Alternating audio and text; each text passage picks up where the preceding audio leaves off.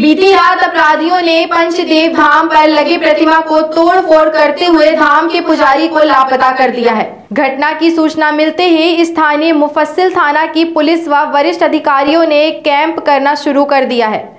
लेकिन गया में अपराधियों का मनोबल बढ़ता जा रहा है और पुलिस हाथ पे हाथ धरी बैठी है और गया में क्राइम कंट्रोल करने में पुलिस पूरी तरह विफल साबित हो रही है और अपराधियों का मनोबल बढ़ता ही जा रहा है। सनातन धर्म के आस्था पर विश्वास रखने वाले लोगों ने अपने बयान में बताया कि यदि पुजारी को जल्द से जल्द रिहा नहीं करता है तो उग्र होकर गया नवादा मार्ग को जाम करते हुए प्रशासन के विरुद्ध नारेबाजी करने लगेंगे। लेकिन पुलिस ने आश्वासन दिया है कि हम लोग कार्रवाई कर रहे हैं।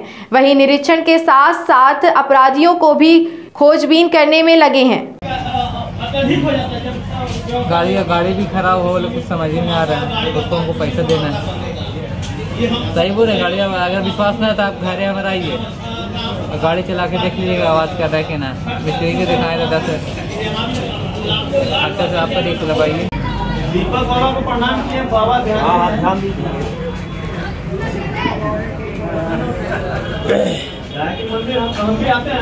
करे उससे मतलब हम लोग करना एक मिनट अब खड़ा होकर बनवाएगा समाज सहयोग के लिए तैयार है अभी हो गया। हम कहेंगे कि हो जाना चाहिए सटले एकदम कोई देरी नहीं पूरा बोलने जवाब है यह बना दे तोड़ेगा सुबह में लोगों के द्वारा फ़ोन सूचना मिला मुझे कि धाम में मूर्ति वगैरह मंदिर को तो क्षतिग्रस्त किया गया।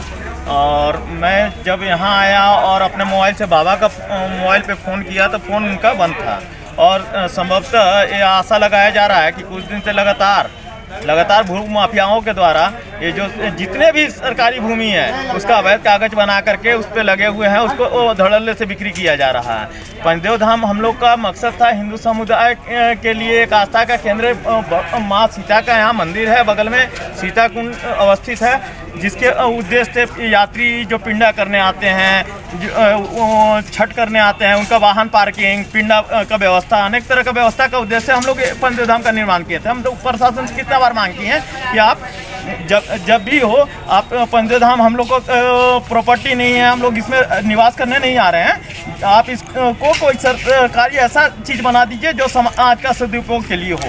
मगर प्रशासन का अनदेखी रवैया के कारण ये जो जितना ज़मीन देख रहे हैं उसका नदी का सीमांकन हुआ था। आज से करीब तीन बरस नदी का सीमांकन पाँच अधिकारी आई एस अधिकारी के रैंक के अधिकारियों के द्वारा किया गया था।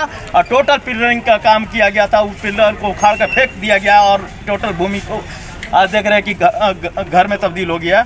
तो हम क्या लगता है? मतलब अगर अभी जो घटना है किसी की शरारत होती है या फिर मतलब नहीं एक एक एक बहुत बड़ा षड्यंत्र चल रहा है भूमाफियाओं के द्वारा। अब उसमें क्या हुआ है तो प्रशासन का जाँच का बिंदु है। समाज में आक्रोश है हम लोग तो समाज को शांत किए हुए हैं। प्रशासन अपना काम करेगा।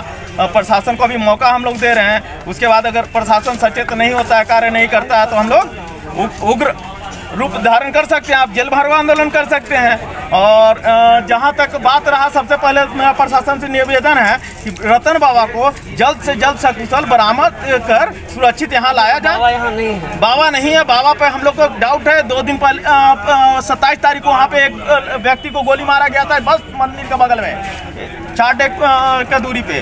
तो हम लोग को अंदेशा मतलब अनहोनी का घटना का अंदेशा है। ऐसा ना हो भगवान भगवान से यही प्रार्थना करते हैं और भगवान का मूर्ति तो देख रहे हैं क्षतिग्रस्त कर दिया गया। और प्रशासन इस पर कठोर से कठोर कार्रवाई कर, करे यही समाज का मांग है। और नहीं तो अगर नहीं करने के बाद तो फिर मुन्ना सिंह भाजपा मानपुर नगर मंडल अध्यक्ष रामनवमी पूजा समिति।